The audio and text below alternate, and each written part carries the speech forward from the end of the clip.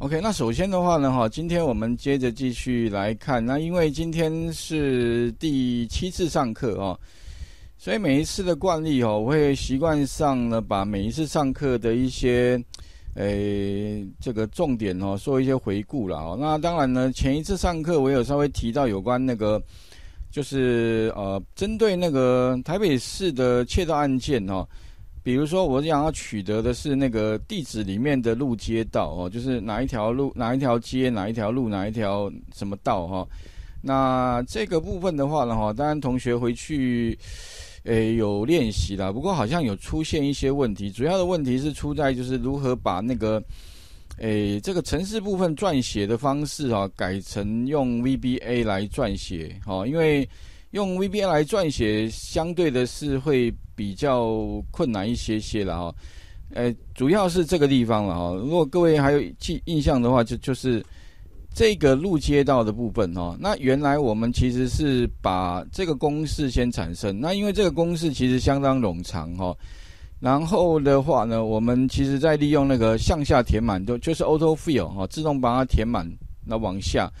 那这里的话呢，当然哦，我前面有跟各位讲过，这边的话其实会有一个可能未来会遇到的问题，就是说，如果你今天呢，当然哦，哎，把 Excel 里面的公式哦变成 VBA 的话，其实最简单的方法哦，其实就是 Auto Fill。我觉得 Auto Fill 相当的好用，哦，它有点类似像回圈的概念，就自动帮你把这个公式哦向下填满，哦，这这么多公。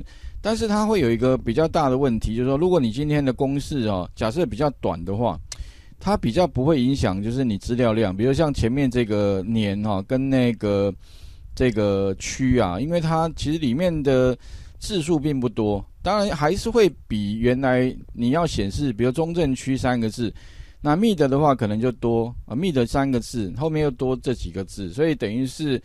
呃，比较大的问题就是说，它会造成哦，如果你是用直接把公式输出到某一个范围储存格里面的话，那它的假设你将来存档的时候哦，它会衍生出另外就是它的档案会膨胀。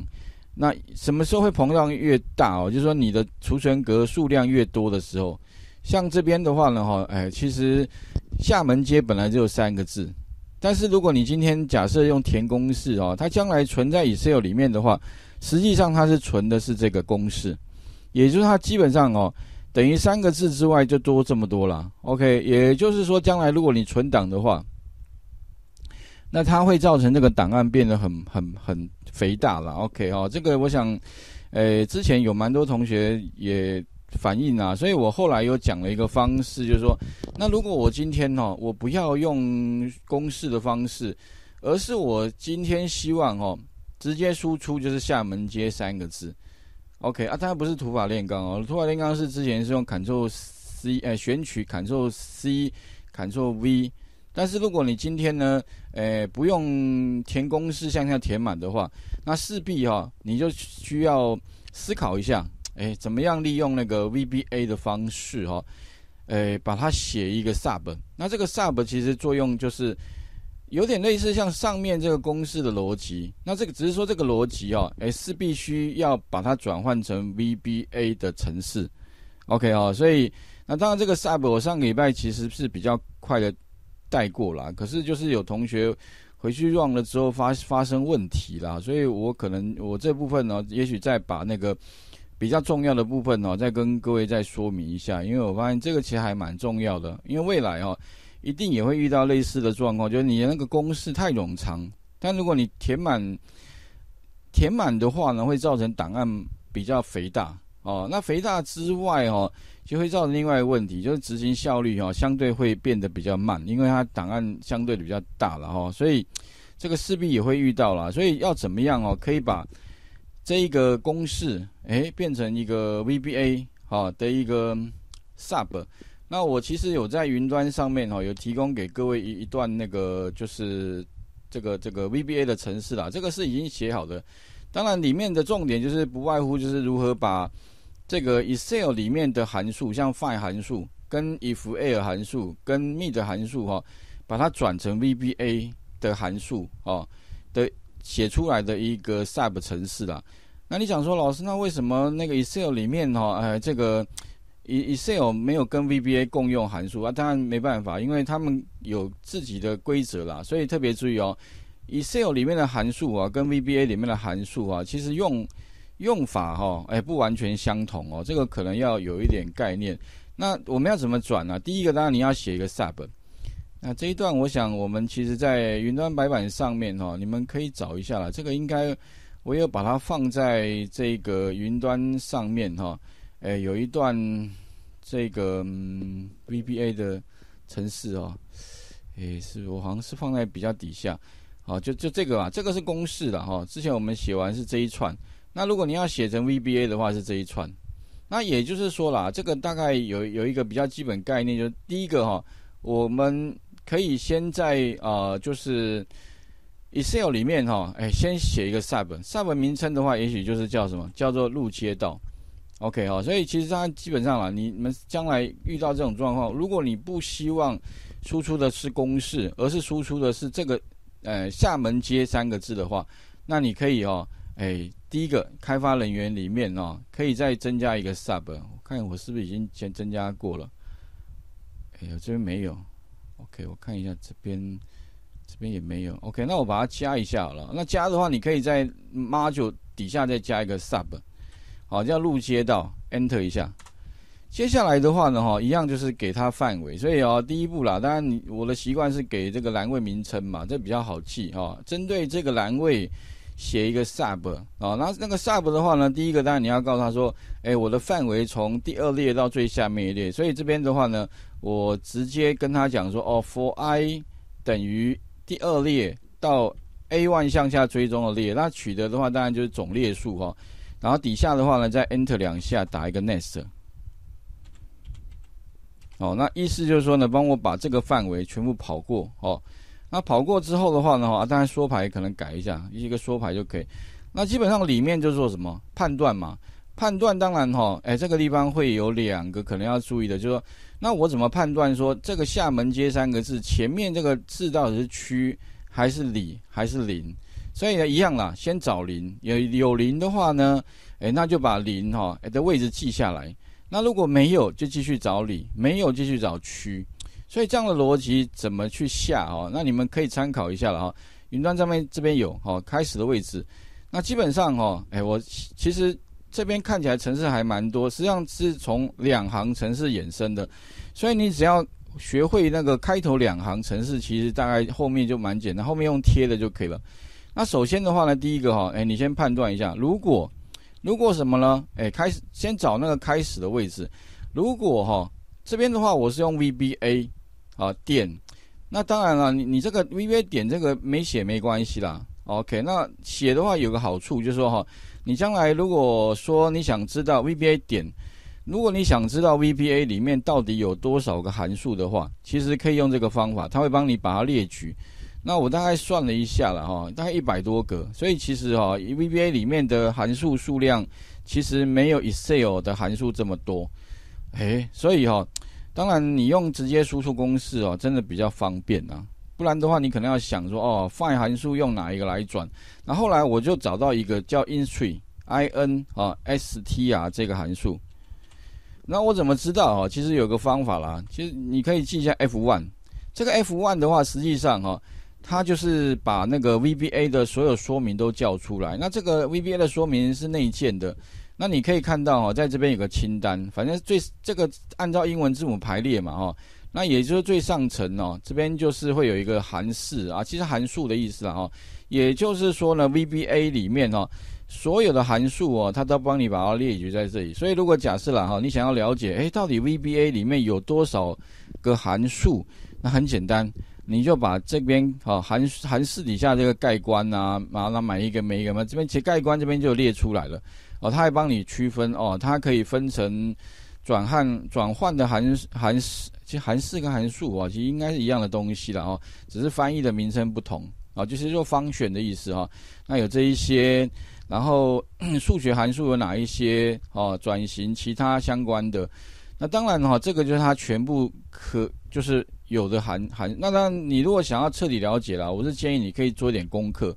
那不见得一定要背起来，但是将来如果又会用到的话，哎，你就可以把它拿来用啊。其中的话，我是找到有一个叫 in tree，这 in tree 在哎 i 开头在这里有没有 Instree？I 开头的？OK 哈，那它的用法跟 find 很像了哈啊，它最大不一样哈，其实就是在什么，在那个它丢的参数哦不太一样，所以这边有参数的相关啊语法啊，比如 in tree，然后呢这个 star 如果是中刮弧的话，表示说哎没有这个参数没关系。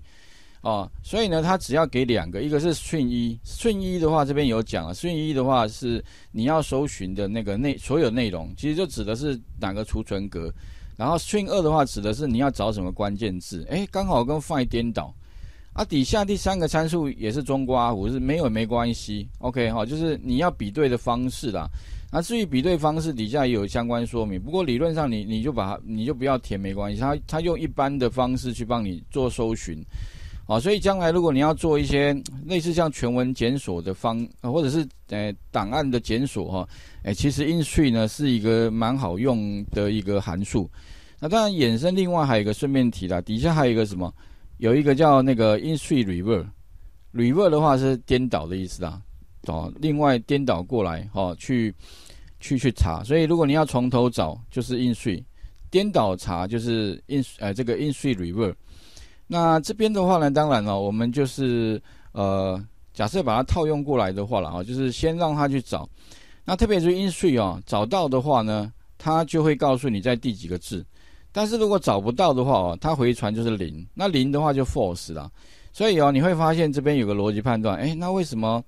呃，如其实底下这个叙述啊，是说如果有找到的话，那帮我把它记在 A 里面。OK，那如果找不到的话呢？所以哦。等于是说，如果里面没有零这个字的话，它返还回来的结果会是数字零。零的话就是 false，false 就是没有。那我们就可以跟他讲说，那你继续帮我找，哎，什么？